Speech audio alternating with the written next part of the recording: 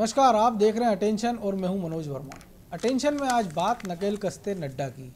पाँच राज्यों में चुनावी नतीजे आने से पहले ही भाजपा के राष्ट्रीय अध्यक्ष जेपी नड्डा नए मिशन पर निकल चुके हैं, जहाँ कार्यकर्ता यूपी सहित चार राज्यों में बीजेपी की बम्पर जीत के एग्जिट पोल के अनुमानों से गदगद हैं। वहीं नड्डा अगले चुनाव की तैयारी में लग गए हैं। इस बार उन्होंने इसके लिए मध्य प्रदेश को चुना है। यहाँ पार्टी 2018 में कच्चा खा चुकी है। अब 2023 में कोई गलती नहीं दोहराना चाहती है। पार्टी और संगठन में कसावट लाने के लिए जेपी नड्डा मंगलवार को इंदौर पहुँचे। यहाँ से उज्जैन जाकर महाकाल मंदिर में दर्शन किए और फिर देवास में एक कार्यक्रम में शामिल होकर इंदौर आ गए। हालाँकि नड्डा के दौरे पर कांग्रेस हमलावर नज़र आ रही है तो नकेल कस्ते नड्डा पर चर्चा शुरू करें। उसके पहले देखिए हमारी एक खास रिपोर्ट।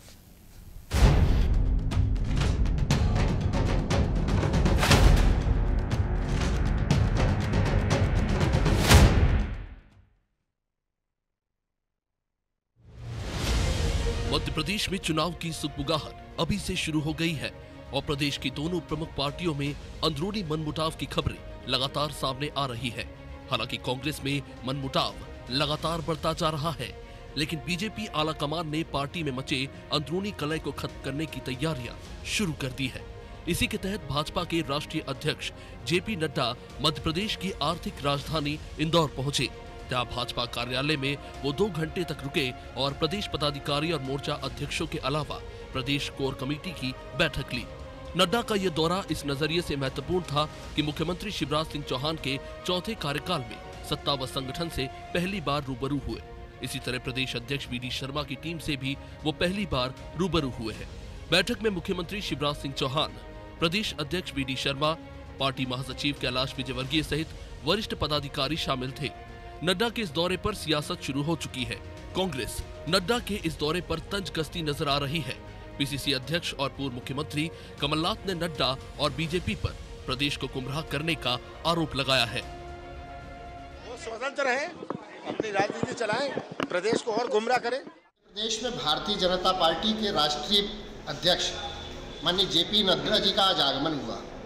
जेपी नड्डा जी स्वागत है आपका देश के चौथे सबसे पिछड़े राज्य में। स्वागत है आपका उस राज्य में जहाँ पर महिला अत्याचार अपने चरम सीमा पर है और हमारे गृह मंत्री को सिवाय कांग्रेस पर बयानबाजी और इतर मुद्दों पर बयानबाजी देने के अलावा और कोई कार्य नहीं है। मध्य प्रदेश में 45 साल में सबसे ज़्यादा बेरोजगारी है और चरम सीमा पर है हमारे मध्य प्रदेश में। महँगाई, आज इन सारे मुद्दों पर भी जेपी नड्डा जी ध्यान देवें, केवल उस संगठन को मज़बूत करने का प्रयास न करें। जिस संगठन के कारण आज मध्य प्रदेश में लगातार ऐसी घटनाएँ चरम सीमा पर जा रही हैं और मध्य प्रदेश जो है लगातार विकास की दौड़ में कहीं न कहीं पिछड़ रहा है। बता दें, नड्डा इससे पहले 2019 में इंदौर आए थे। तब भी उन्होंने दो बैठकें ली थी और इस बार भी दो बैठकें लेंगे। पिछली बार उनकी बैठकों के बाद फरवरी 2020 में तत्कालीन प्रदेश अध्यक्ष राकेश सिंह हटे और इसके बाद सरकार गिर गई। अभी इस बीच कोरोना संक्रमण और पाँच राज्यों के चुनाव में उनकी व्यस्तता रही। हालाँकि नड्डा का ये बहुप्रतीक्षित दौरा खुद उनके लिए भी चौंकाने वाला साबित हो सकता है, क्योंकि पिछले कुछ समय में इंदौर जिला, शहर और ग्रामीण में गुटबाजी के मामले सामने आने के चलते पार्टी की छवि खराब हुई है। कुछ समय पहले प्रदेश अध्यक्ष वी डी शर्मा, प्रदेश प्रभारी मुरलीधर राव, मंत्री डॉक्टर उत्तम मिश्रा भी संगठन को मज़बूत बनाने के लिए बैठकें ले चुके हैं। तो सुनिए नड्डा के दौरे और कांग्रेस के आरोपों पर क्या कहना है बीजेपी नेताओं का? भारतीय जनता पार्टी 24 घंटे तीन दिन सक्रिय मोड में रहकर सक्रियता के साथ काम करने वाली पार्टी है। आपने देखा कि कल सात तारीख थी और उत्तर प्रदेश में अंतिम चरण के चुनाव संपन्न हुए और आज आठ तारीख को भारतीय जनता पार्टी के राष्ट्रीय अध्यक्ष फिर से एक नया कार्यक्रम, एक नया दौरा, जहाँ वो बाबा महाकाल के दर्शन करके उनका आशीर्वाद लेने के लिए उज्जैन की धार्मिक नगरी में पधारे।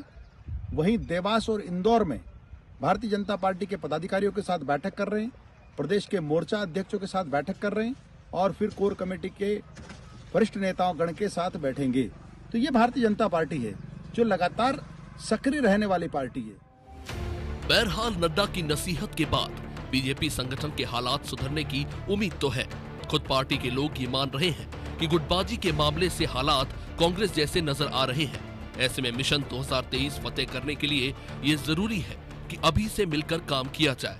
अब नड्डा की नकेल कितनी काम आती है, ये तो समय बताएगा। लेकिन इतना तो है कि पार्टी ने अभी से अपने संगठन की कमियों को दूर करने पर फोकस शुरू कर दिया है। Bureau report, Anadi TV.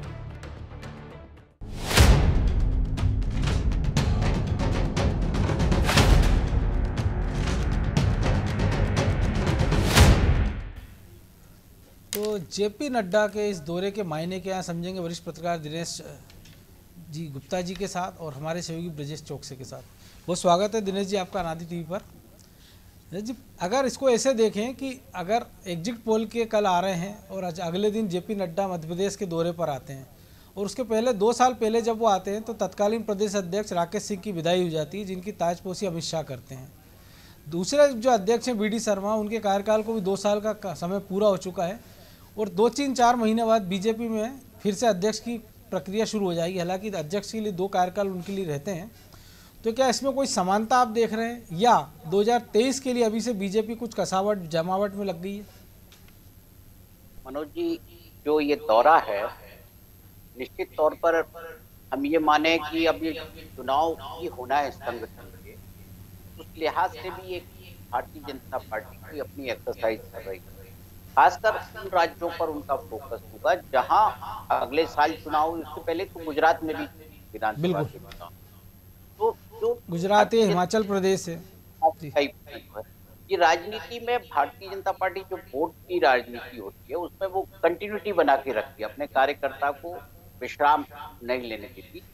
तो वो यदि उसके बाद भी यदि पार्टी में गुटबाजी के संकेत हैं और मध्य प्रदेश जैसे उस संगठन में जिसकी तारीफ़ भारतीय जनता पार्टी के पितृ पुरुष से लेकर वर्तमान पुरुष तक सब करते हैं तो उस संगठन में यदि गुटबाजी है तो आप सोच सकते हैं कि स्थितियाँ निश्चित तौर पर गंभीर होंगी। यदि उन्होंने गुटबाजी के लिहाज से कोई मीटिंग की है, उनके दिमाग में गुटबाजी है या भारतीय जनता पार्टी को कोई खतरा है तो वो उस लिहाज से ये संकेत जो है बहुत अच्छे भारतीय जनता पार्टी के लिए। गुटबाजी यदि है तो ज़रूरी नहीं है कि जो है समझौता केवल एक पक्ष करेगा। एक पक्ष केवल अपनी सहमति देकर चुपचाप बैठ जाएगा। कहीं ना कहीं जो है एक समझौते का रास्ता निकलेगा। तो रास्ता कहाँ से जाएगा? क्या अध्यक्ष प्रदेश प्रदेश भारतीय जनता पार्टी के अध्यक्ष से जाएगा या फिर और कार्यकर्ताओं के एडजस्ट होने से जाएगा? बहुत सारे जो सवाल हैं, इस क्योंकि अभी बहुत जब तक पूरे ये नहीं दृश्य सामने आता पार्टी का क्योंकि तब तक ये कहना किसी नतीजे पर हम नहीं पहुँच सकते क्योंकि ये जो साहब का जो दौरा है वो एक अनुमान लगाने के लिए भी होता है। हम परिस्थितियों को भापने जाते हैं लोगों से औपचारिक अनौपचारिक बातचीत होती है एजेंडा सामने होता है स्थानीय मुद्दे सामने होते हैं उसके बाद जिनको डिसाइड करना है। उनके सामने अपना एक बही खाता आप खोल के रख देते हैं कि साहब, मैं ये बात करके आए, ये परिस्थिति है, नेतृत्व परिवर्तन करना है, नहीं करना है तो इसके जो संकेत हैं, इस बैठक के बाद जो चर्चाएँ हवा में चलेंगी, उससे हम कुछ अनुमान लगा पाएँगे कि राजनीति किस दिशा में जाएगी। तो एक और एक संकेत ये भी है ना, क्योंकि अगर एक युवा अध्यक्ष को उसकी टीम बनाने के लिए फ्री हैंड मिलता है, वो अपनी टीम बना लेते हैं, अपने सबसे खास, भगवान दास सबनानी को इंदौर का प्रभारी बनाते हैं वो अपने पसंद के गौरव रणदीवे को, जो कि एन एस से आए, उनको जिलाध्यक्ष बना दिया जाता है। और वो उनकी पसंद का अध्यक्ष, फ्री एंड के बाद भी अगर अपनी कार्यकारिणी नहीं बना पाता है तो ज़ाहिर सी बात है कि एक युवा अध्यक्ष अपने हिसाब से तालमेल नहीं बैठा पा रहा, या इंदौर के जो दिग्गज नेता हैं, भाई, ताई और तमाम सारे, उनसे सामंजस्य का अभाव है और जिसका खामियाजा संगठन को भी उठाना पड़ रहा है। देखिए, कोई भी पार्टी जो है, कांग्रेस की बात नहीं कर रहा हूँ आप बाकी तो जो है, पारिवारिक पार्टी है, जो जब कोई रणनीति बनाती है, नेतृत्व के बारे में, जो भारतीय जनता पार्टी के खास तौर पर तो वो आगे 10-20 साल की रणनीति बनाती है। आज बी डी शर्मा पर उन्होंने एक एक्सरसाइज की, उनको फ्री हैंड दिया एक कि आप नेतृत्व संभाल पाते हैं, नहीं संभाल पाते, कितने सक्षम हैं, आपकी टीम कैसे लोगों की होगी? तो जब आपको लगता है पार्टी नेतृत्व की यदि जो है, ये सफल नहीं हुए तो फिर दूसरे कार्यकाल को हम क्या निरंतर रखेंगे या फिर वही पोखरण का विस्फोट होगा?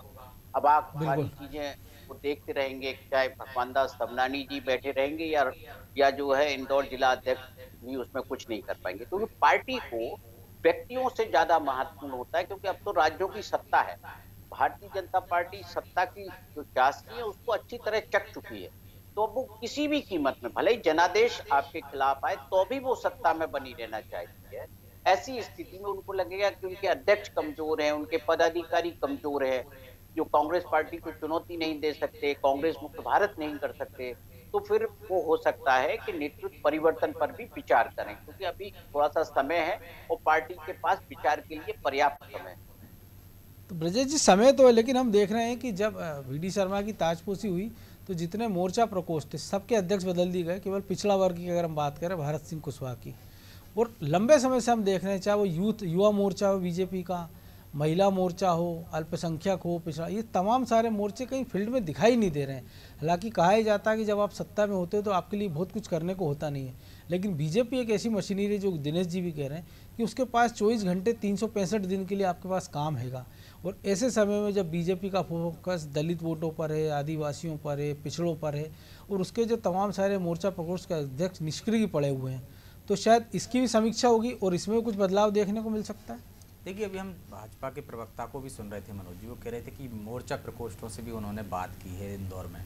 तो निश्चित तौर पर जो मोर्चा हैं, जो भाजपा के हैं, महिला मोर्चा हो, युवा मोर्चा हो, अल्पसंख्यक मोर्चा हो जो आपने कहा सही है वो कहीं भी उतने सक्रिय नहीं दिख रहे हैं। भले भी सत्ता में है लेकिन सत्ता के साथ साथ सरकार की जो उपलब्धियाँ हैं सरकार की योजना है उनको तो जनता के बीच में पहुँचा सकते हैं और दूसरे तरीके से वो जनता के बीच में बने रह सकते हैं। लेकिन वैसी कोई वो नहीं दिख रही जिस तरह से हम देखते हैं विपक्ष के पास मौका रहता है कि वो ज़्यादा सुर्खियों में इसलिए आ जाता है क्योंकि उसके पास विरोध करने का एक तरीका होता है। लेकिन यदि सत्ता पक्ष से हैं आप तो आपके पास उपलब्धियाँ पहुंचाना पड़ती हैं और भाजपा जिस तरह से दिनेश जी भी कह रहे थे कि अपने कार्यकर्ताओं को लगातार काम पर रखे रहती है और यहाँ तक खबरें आ रही कि महिला मोर्चा की जब से प्रदेश अध्यक्ष बनाई है, उन्होंने कोई ऐसा कोई कार्यक्रम नहीं किया, ऐसी कोई उपलब्धि नहीं हुई। दूसरी तरफ़ देखिए, आज महिला दिवस पर महिला कांग्रेस ने एक कार्यक्रम भी आयोजित कर लिया। तो आपको सक्रिय तो रहना पड़ेगा और ये सब चीज़ें मॉनिटरिंग करते हैं। मध्य प्रदेश में इसलिए भी ज़रूरी है मनोज जी कि ज़्यादा ध्यान देने की बात इसलिए भी है क्योंकि आपके पास कांग्रेस का एक पूरा धड़ा आके आपकी पार्टी में समाहित हो गया। और उसकी वजह से हमने देखे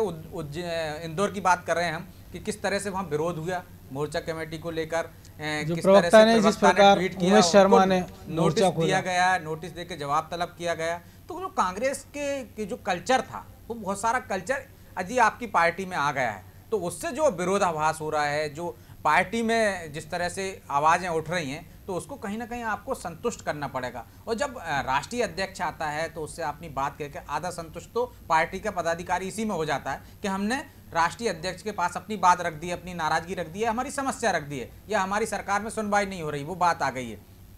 तो अध्यक्ष इसलिए कसावट करेंगे, पहले भी वो ऑनलाइन के ज़रिए हम देख रहे हैं कि बातचीत करते रहे, मध्य प्रदेश के संगठन से और कार्यक्रम देते रहे।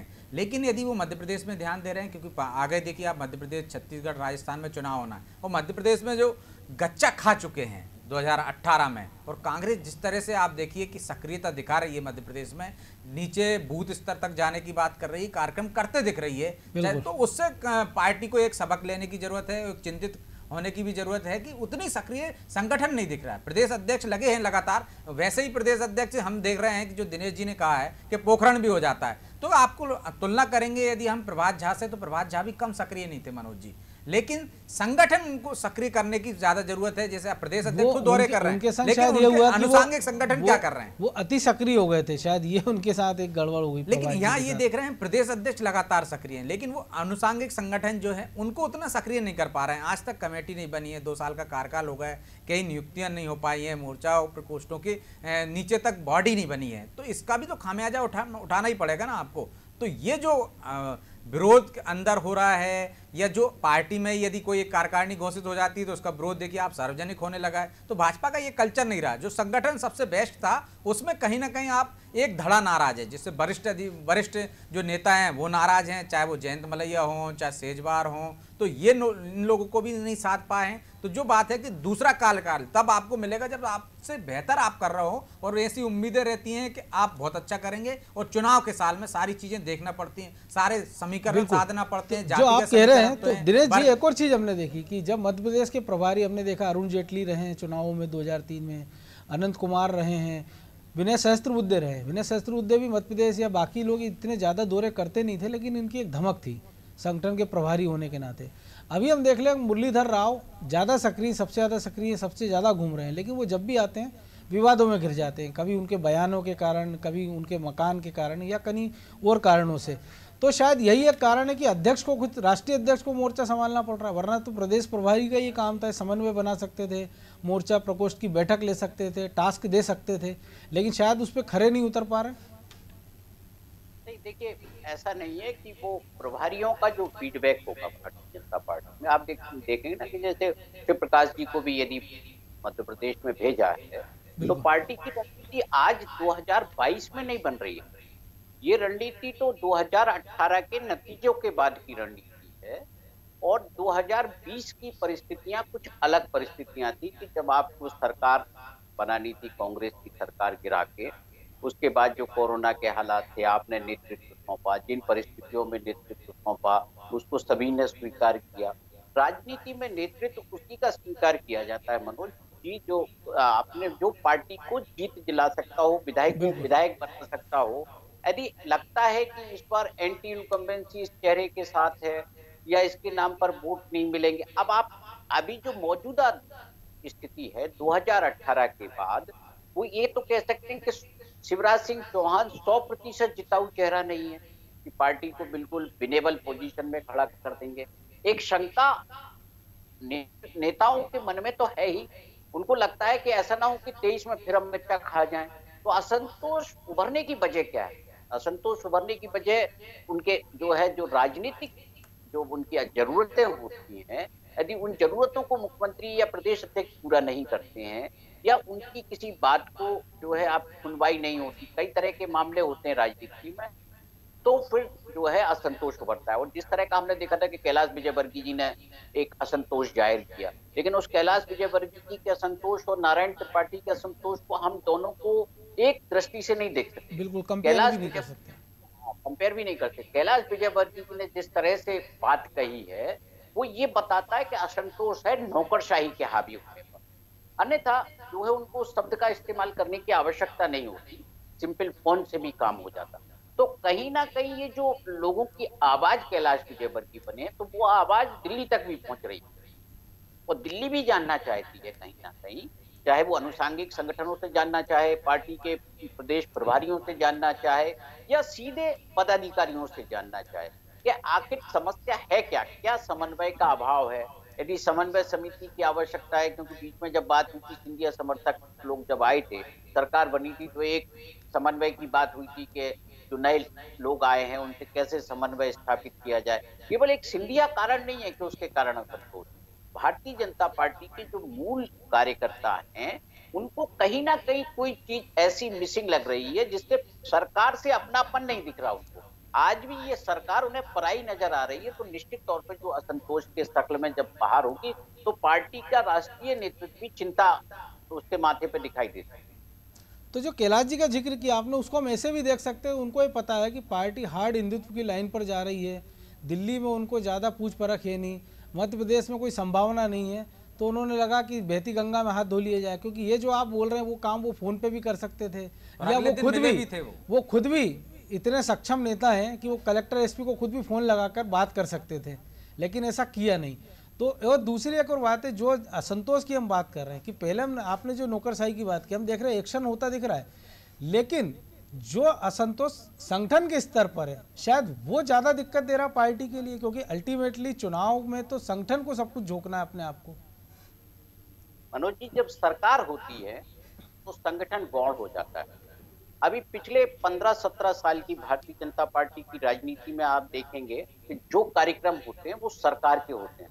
भारतीय जनता पार्टी के तो पदाधिकारी उस मंच के नीचे खड़े होते हैं। जो गतिविधियाँ होती हैं, वो सरकार की गतिविधियाँ होती तो वैसे जो कैलाश विजयवर्गीय जी की जो बात है, वो हार्ड हिंदू तो हमने उत्तर प्रदेश में भी देखा कि उतना नहीं चल पा रहा। चिंता का विषय तो यही है ना, यदि हार्ड हिंदुत्व चल रहा होता तो हमें नौकरशाही को सामने लाने की ज़रूरत नहीं उसकी विफलताएँ गिनाने की ज़रूरत नहीं थी। आज ये एंटी इनकम्बेंसी यही होती है। नौकरशाही हावी है, इसका मतलब जनप्रतिनिधियों की सुनवाई नहीं हो रही, आम आदमी की सुनवाई नहीं हो रही, मंत्रियों के काम नहीं हो रहे मंत्री भी खुद भी तो परेशान है वो मंत्री।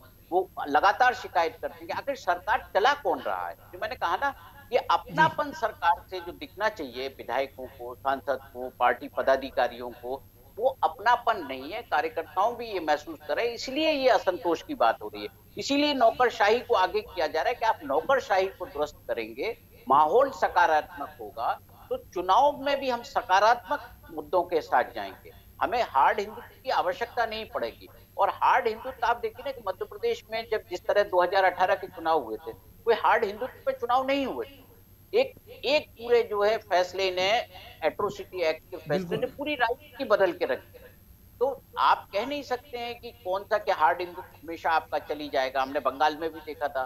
तो पार्टी ने कुछ गेन किया लेकिन सरकार बनाने की स्थिति में नहीं है। उत्तर प्रदेश में हार्ड हिंदुत्व है कि नहीं ये हमको जो है पता लगेगा दस तारीख को।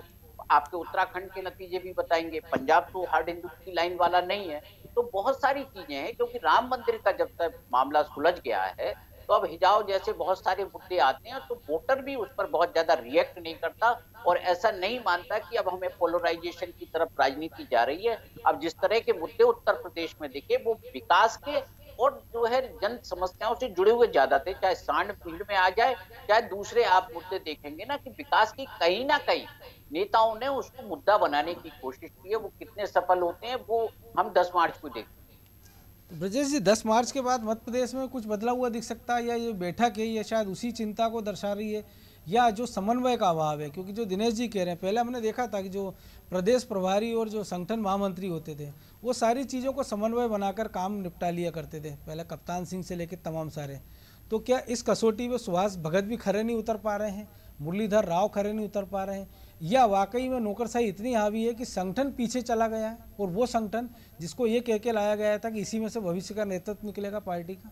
देखिए, संगठन में बहुत बड़ा प्रयोग किया था मध्य प्रदेश में, लेकिन वो प्रयोग कितना सफल हुआ, ये भी राष्ट्रीय नेतृत्व देख ही रहा होगा ना, चेक कर ही रहा होगा अलग अलग स्टेप पर जाकर कि ये जो हमने प्रयोग किया था मध्य प्रदेश में, कि सारा यूथ को हम लाएँगे, यूथ को आगे लाएँगे, नया नेतृत्व लाएँगे तो वो हमारा कारगर कितना हुआ है और कितना सफल हुआ है, उसे हम क्या, कितना आगे बढ़ा सकते हैं, या फिर वैसे ही के अनुभव और युवा को एक साथ तालमेल करने की ज़रूरत है। चुनाव से पहले तमाम तरह की जो खामियाँ होंगी संगठन में, वो दुरुस्त करने की कोशिश की जाएगी। क्योंकि मनोज जी, देखिए, पाँच राज्यों के चुनाव में भी जो खामियाँ रह गई होंगी संगठन स्तर पर, उत्तर प्रदेश की बात करें हम, या गोवा की बात करें, या फिर उत्तराखंड की बात करें, मणिपुर तो वो जो खामियाँ दिखती हैं, जो समझ में महसूस होती हैं चुनाव के दौरान कि ये कमियाँ रह गई थी, हम इनको पहले से दुरुस्त कर लेते। तो निश्चित तौर पर उनका यहाँ पे आप देखेंगे कि पाँच राज्यों के जो चुनाव का अनुभव भी यहाँ संगठन में दिखेगा। कि जो राष्ट्रीय नेतृत्व में महसूस किया होगा कि हम संगठन को इतने पहले सक्रिय कर देते थे। जो बात हमें पहले पहुंचाना चाहिए थी या ये काम हमको कर लेना चाहिए था, पेज प्रमुख की बात करते हम, बूथ स्तर पर हमें और क्या बेहतर कर सकते थे कि परिणाम और ज़्यादा सार्थक हमारे फेवर में आते। तो जो जो कमियाँ दिखती हैं, वो दूसरे राज्यों में चेक की जाती हैं। जैसे मध्य प्रदेश में चेक करेंगे, इससे पहले गुजरात में चेक करेंगे और मध्य प्रदेश, छत्तीसगढ़, राजस्थान में करेंगे कि भाई यहाँ पे वो कमियाँ ना रह जाए। पाँच जो हमने उत्तर प्रदेश में देखी, हमने जो पाँच राज्यों में चुनाव हो रहे हैं, वहाँ पर देखी। तो एक तो वो दुरुस्त करने की बात होती है, इसलिए संगठन का जो नेतृत्व है, वो पहले सक्रिय हो जाता है और उस हिसाब से दिशा निर्देश देने लगते हैं। और दूसरा जो बात जो आप कह रहे हैं कि हाँ जो श्वास भगत की बात कर रहे हैं, वैसी कार्यशैली उनकी दिख नहीं रही है। जैसे पहले संगठन महामंत्रियों की दिखती है, चाहे कप्तान सिंह की बात करें, चाहे माखन सिंह की बात करें तो भगवत शरण माथुर की बात करें, ये तमाम नेताओं की जो कार्यशैली थी समन्वय बनाने की तो वो समन्वय बनाने की परिस्थितियाँ यहाँ दिख नहीं रही। इसी कारण देखिए, आप क्षेत्रीय संगठन मंत्रियों का जो एक पोर्टफोलियो रहता था, जो एक वो थी उसको हटाई दिया खत्म ही कर दिया। तो ये व्यवस्था जो खत्म की है उनको लेकर भी असंतोष है ना क्योंकि जिस प्रकार से उनको निगम मंडलों में नवाजा गया है उसको लेकर भी पार्टी के अंदर से विरोध के सुर उठ रहे हैं। बिल्कुल देखिए विरोध के सुर इसलिए ही उठ रहे हैं ना मनोज जी कि आप जिन लोगों को बहुत से लोगों को उम्मीदें थी जो आप दिनेश जी कह रहे थे अपनी सरकार नहीं मान रहे। सबको उम्मीदें थी ना सरकार से सरकार से उम्मीदें बहुत होती हैं, लेकिन सबकी पूरी हो जाएँ, ये भी ज़रूरी नहीं है। लेकिन बहुत कुछ लोग ऐसे होते हैं, जो चाहते हैं कि हाँ उनकी उम्मीदें तो पूरी हो जाएँ। लेकिन जब एक धड़ा आपके पास आ गया है तो उसको भी एडजस्ट करना है आपको, अपने लोगों को भी एडजस्ट करना है तो ऐसे में बहुत सारे लोग छूट जाते हैं। तो वो छूट जाते हैं, जिस तरह हम बिंद की बात करते हैं हमेशा, कि ये बात आती है कि वहाँ पर उतना नेतृत्व नहीं मिला, जितना समर्थन मिला। हम मालवांचल की बात करते हैं, मनोज जी, सबसे ज़्यादा समर्थन मिलता है भाजपा को, लेकिन यदि वहाँ गुटबाजी दिख रही है, ताई नाराज़ हैं, भाई हैं और एक तुलसी सिलावट नाम का एक नया गुट वहाँ पे पनप रहा है या आप उसको देख रहे हैं कि वो मज़बूत होता जा रहा है। तो अंतर कलह तो होती है उस कलह को कैसे आप दूर करोगे? तो ये सब चीज़ें दुरुस्त करने के लिए ही जब संगठन का नेतृत्व आता है, संगठन नेतृत्व देखता है, सब चीज़ें पहुँचती हैं। यदि क्या आप कैलाश विजयवर्गीय यदि चिट्ठी लिख के एक नाराज़गी ज़ाहिर कर रहे हैं तो वो दिल्ली में बैठे होंगे तो वहाँ की बातें नहीं बताते होंगे क्या? जो मध्य प्रदेश के नेता, संगठन के नेता हैं, वो जाकर नहीं बताते होंगे सरकार की खामियाँ। तो वो सब खामियाँ चुनाव से पहले दूर कर ली जाए कि 2023 लेकिन में लेकिन उसके, नुकसान उस पे, उस पे अमल भी तो करना होगा क्योंकि प्रदेश के मुखिया कहते हैं कि मेरे जन्मदिन पर आप कोई बुके कोई हार कुछ शोबाजी मत करिए पौधे लगाइए। और जब उसी संगठन का राष्ट्रीय अध्यक्ष आता है तो आप 300 जगह उनका स्वागत करते हैं ताकत बताने की कोशिश करते हैं। तो ये बताता है कि कहने की बात कुछ और अंदर खाने पार्टी में कुछ और चल रहा है। बहरहाल समय इजाज़त नहीं दे रहा है इसलिए इस चर्चा को यहीं विराम देना होगा। बहुत धन्यवाद दिनेश जी आपका ब्रजेश जी आपका। तो निश्चित तौर पर एक बड़ी चुनौती है बीजेपी के सामने और जिस प्रकार से एग्जिट पोल के जो अभी अनुमान निकले हैं और बीजेपी के लिए जिस प्रकार से खबरी आई है तो बीजेपी किसी कीमत पर नहीं चाहेगी कि मध्य प्रदेश जैसे बड़े राज्य उसके हाथ से किसी भी गलती के कारण छिटक जाए या ऐसा लगे कि वो कहीं फंसता हुआ नज़र आए। और शायद यही कारण है कि राष्ट्रीय अध्यक्ष ने इस पर ध्यान देना शुरू कर दिया है। और अभी चुनाव में कह सकते हैं कि समय है, लेकिन बीजेपी जिस प्रकार से कामकाज करती है, लगातार तीन सौ पैंसठ दिन, चौबीस घंटे, उसको देखकर कह सकते हैं कि बीजेपी ने सही समय पे अपनी मुहिम शुरू की है और जेपी नड्डा के इस दौरे के बाद गुटबाजी पर कितना असर दिखेगा, इसके लिए थोड़ा इंतज़ार करना होगा। टेंशन में आज इतना ही। मुझे दीजिए इजाज़त और आप देखते रहिए अनादि टीवी नमस्कार।